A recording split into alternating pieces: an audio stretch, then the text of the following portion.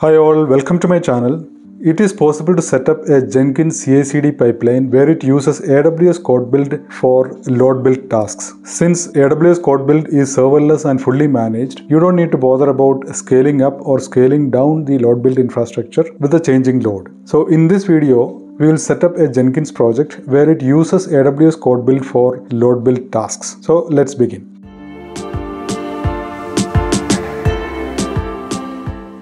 As a first step in this lab exercise, we need an EC2 in which we can install Jenkins. So I have already created an EC2. It's an Ubuntu EC2 instance, which is a T2 large instance, but you can go for T2 medium, that is sufficient. And the security group should have two ports open, one for 22 and one for 8080. So these are some of the features of your EC2. Now I need to log into this EC2. SSH into this particular EC2 so that I can install Jenkins. So you can go to connect, go to SSH client, copy this connection string and go to a terminal or command prompt and ensure that you are in downloads folder because that is where you would have stored your key. So just paste that connection string so I have logged into the EC2. Now I have to install Jenkins in this EC2.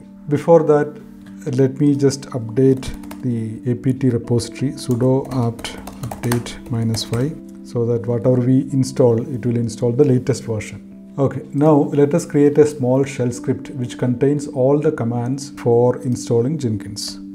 vi myjenkins.sh I'm copy pasting the code. I will provide this code as part of the cheat sheet and the link to the cheat sheet will be provided in the video description. Yes. Once we execute this shell script, it will install Jenkins in this EC2. Just save quit and give execute permission for my Jenkins scripts. Yes, now it is ready to be executed. So just execute it by typing my jenkins.sh. Okay, Jenkins is installed. So please note this initial admin password. You can copy paste that into a notepad. And also please note the IP address of this EC2. You can get the IP address from EC2 console. Here, this is the IP address. Okay, now open a browser for accessing your Jenkins page. So open a browser and just type IP address of your EC2. This is the IP address of my EC2. You have to include the port number 8080 as well. So now it is asking for the initial admin password which you have copied into the notepad. Just paste it here and continue. Click on install suggested plugins. It will take a couple of minutes. Okay, all the suggested plugins or important plugins for Jenkins are already installed. That is good. You can set up your user ID and password. I'll set up admin admin as the user ID password because this is anyway a learning environment. In real life, of course, you need to set up better username and password.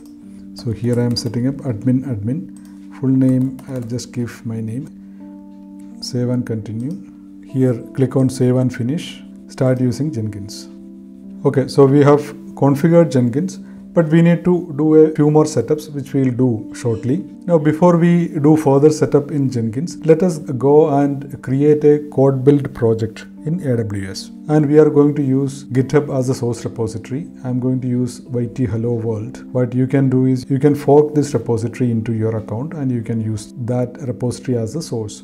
It's a very simple Hello World function and the buildspec.yaml file which is very important for AWS code build to function that is also included here. Okay, now let me go to AWS code build and build a code build project. Okay, so I'm in code build.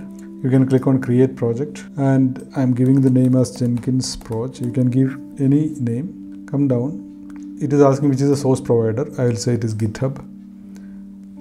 Repository in my GitHub account. So it is asking for which is the repository. So you can either copy it from GitHub or it will appear here. Mine is YT Hello World. Okay, and it says you are connected to GitHub because I had already set up this project earlier. But let me disconnect and connect it again. Yeah, I disconnected. You can either connect using OAuth or GitHub Personal Access Token. Both are good, but I'm going to use OAuth. Connect to GitHub it will actually ask for your user ID password for logging into your GitHub. But since I had already entered it once, it is not asking, I'll just confirm. So it is connected. That is good. Source version, all those things you can leave it as default values. Come down. Come down. Environment on demand is fine. Environment image, managed image. Compute EC2 is okay. Operating system for your load build server, use Amazon Linux, runtime standard. Image, basically it is going to create a Docker container as your load build server. So it is asking for the configuration details for that. Come down. Service role, new service role is fine. It has decided the name by itself, so you can just stick to that. Build spec, build specifications, select user build spec file and buildspec.yaml file is already there in our package, source package. Come down. Logs, CloudWatch, this is okay. So once the load build gets executed, you can go to CloudWatch and look at the log groups. Come down, create build project. So the build project is created. Now we need to create a user ID for Jenkins to access AWS code build. So you need to create a user and you need to attach a permission policy to that particular user. So the first thing what we'll do is we'll go to IAM and then create a policy with permissions to access AWS code build. And that policy will be attached to the particular user ID which we are going to create for Jenkins.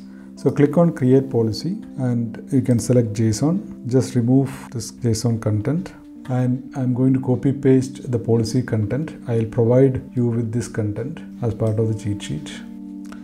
So here please note that you have to provide your account number, your region and your project name. If you come to towards your right, you can see the project name. So you have to update this particular line and one more line. You have to update with your account ID and your project name and your region name etc. So two places you have to make the changes. So once this is done, click on next and you have to give a policy name. I'm going to give the policy name as Jenkins policy. You can give your own name.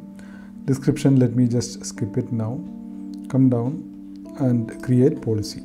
So the policy is created. Now I need to create a user for Jenkins. So click on users, click on create user. Username, I'm going to give it as Jenkins user. It doesn't need access to AWS Management Console. You can click on next. Attach policies directly and come here and search for Jenkins hyphen policy, this one. So just add that, click on next and you can click on create user. So you have created the user. Now you need to create credentials for this user.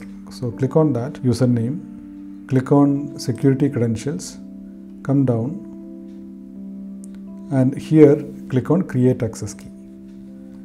And then you can select any of these. I'll say local code and then I understand the above recommendation and want to proceed to create an access key. Click on next.